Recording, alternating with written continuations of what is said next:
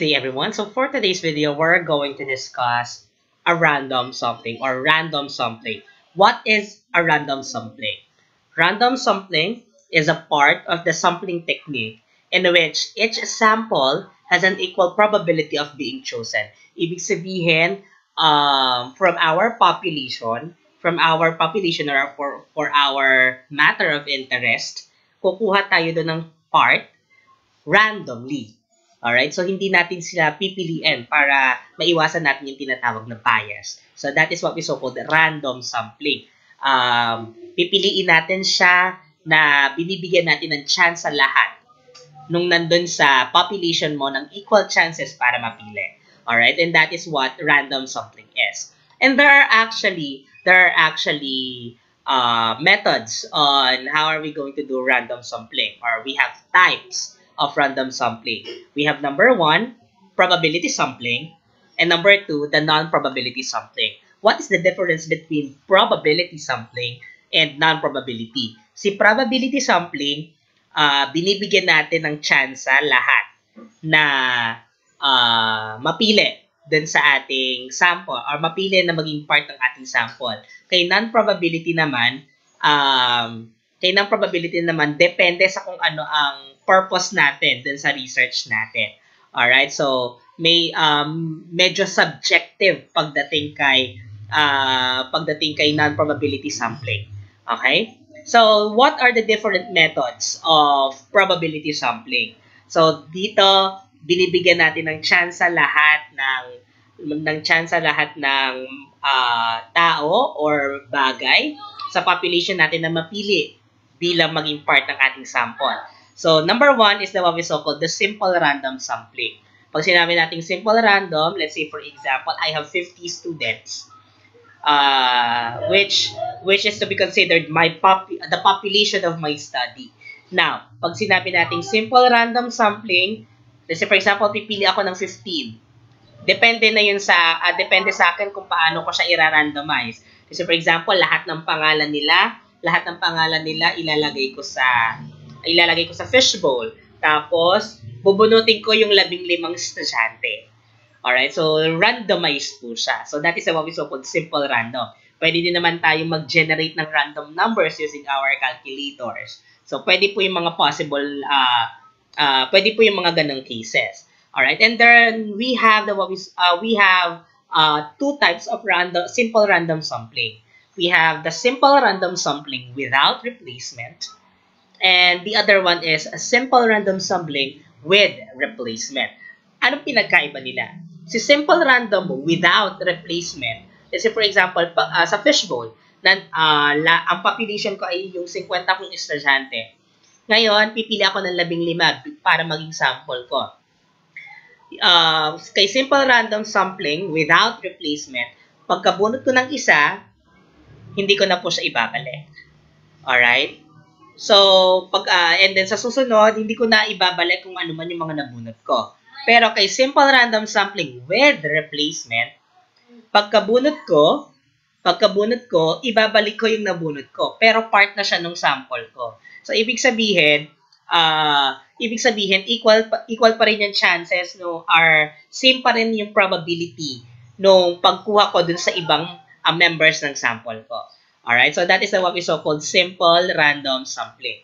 Now, uh, kay, kay random sampling, meron ta kasi tayong tinatawag na sampling frame. Okay? So, let me, let me write that. Meron tayong tinatawag na sampling frame. Ano po yung tinatawag natin na sampling frame? Si sampling frame po ay yung list.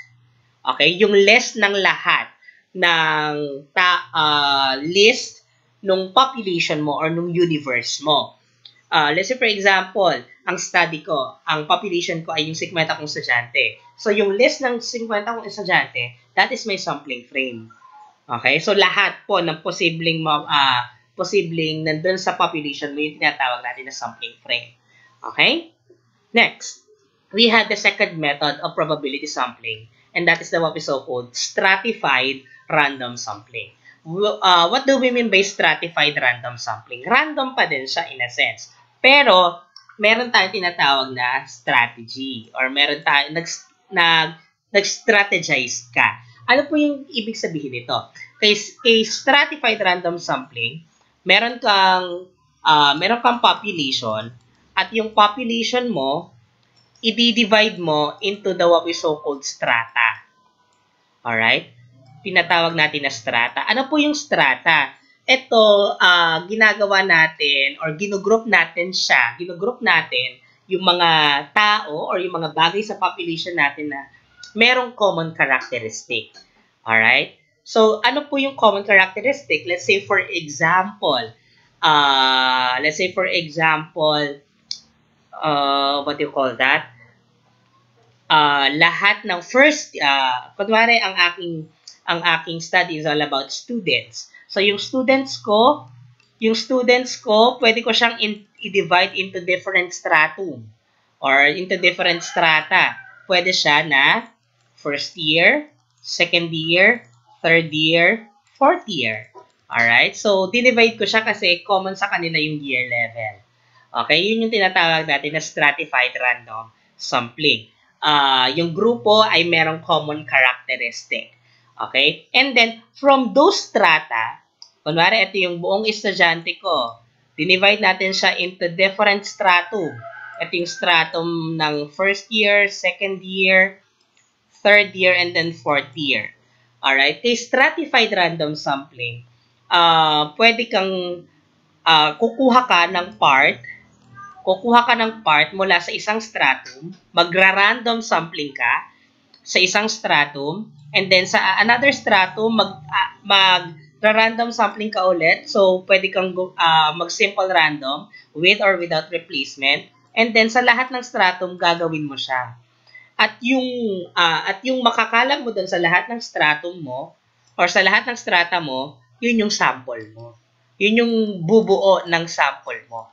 Alright? So, uh, kumbaga sa lahat ng stratum, meron kang representative. Alright? Pero, dapat yung pagkuha mo ng pagkuha mo ng part dun sa bawat stratum mo, kailangan randomized pa din. So, gagamit ka pa din ng random sampling. Okay? So, that is the what we so-called stratified random sampling. Next is the what we so-called systematic sampling. Systematic sampling, ito yung sampling kung saan meron kang sistema sa pagkuha ng sample mo. Let's say for example, ang respondents mo ay yung mga tao sa mall. Yung mga tao sa mall. Uh, systematic yan in the sense na, let's say for example, ang meron kang nasa isip na ang pumapasok sa mall kada araw ay 10,000. Pero kukuha ka lang ng 100 random people na pumapasok sa mall. Ngayon, gagamit tayo ng systematic in the sense na, let's say for example, uh, yung, pin, uh, yung pinakaunang uh, yung pinakaunang papasok dun sa uh, sa mall tapos, yung kasunod na magiging sample mo is 100 apart. So, yung pang isang daan, and then yung pang dalawang daan, pang tatlong daan. Meron kang sistema. So, paano natin mako-compute yun? If this is your population, and this is your expected uh, sample, so the uh, we have here the population divided by the sample size. So, we will be having 10,000 divided by 100, so that is 100. So, para magamit mo yung systematic sampling, yung first respondent mo would be the 100 the 100 ano the 100 person na papasok sa mall. Tapos yung second na magiging sample mo eh sabi kada 100 so we have the 200. Okay? The 200 person na papasok sa mall. And so on and so forth hanggang maka hanggang maka 100 kang tao. Alright? So that is what we so called systematic sampling. And last, for probability sampling, we have the what we so-called cluster sampling. Pag sinabi natin cluster sampling, almost the same siya ng, almost the same siya ng stratified, pero kay cluster sampling, ikaw mismo yung gagawa ng grupo. Let's say, for example, uh, estudyante pa din yung iyong respondents. Um, grade 11. Pero sa grade 11, merong iba't ibang section. So, ginrupo siya. Alright? So, walang, walang common characteristics. So, kay cluster sampling, yung bawat section yung tinatawag natin na cluster. So, it depends upon you. it depends sa panyo kung ang gagawin mo sa cluster sampling ay uh, sa bawat cluster, kukuha ka ng random. Alright? Or kukuha ka ng part. Or randomly, kukuha ka ng isang cluster. Alright? Bilang maging uh, bilang maging sample mo. Alright? Pwede yan. Let's say for example, ito yung ano mo, cluster 1, cluster 2, cluster 3, cluster 4. Depende sa iyo kung bawat cluster kukuha ka ng sample. Or randomly, randomly, so for example, cluster 1, cluster 2, cluster 3, cluster 4. Yung pangalan nila, nilagay mo sa isang fishbowl. Randomly, pipili ka lang ng isang cluster para maging sample mo. So, that's possible. Alright, and that is how are, those are the methods of probability sampling. Next, what are the methods of non-probability sampling? Kay non-probability sampling, uh, wala na pong kasa dito kung random to or what. Alright, depende na lang po ito sa availability nung sample mo. Number one, we have the haphazard or the accidental sampling. Uh, kung ano lang yung maging available dun sa study mo, yun na yung kukunin mo. Accidental or haphazard. Let's say for example, sa uh, sa archaeology, or sa history na lang, 'di ba? Sa history na lang. 'Di ba? Accidental naman kasi nating uh, makikita let's say for example yung mga yung mga lumang gamit from from the past, 'di ba? So that is accidental. Yun yung magiging sample mo. Alright? So that is what we so-called haphazard or accidental sampling.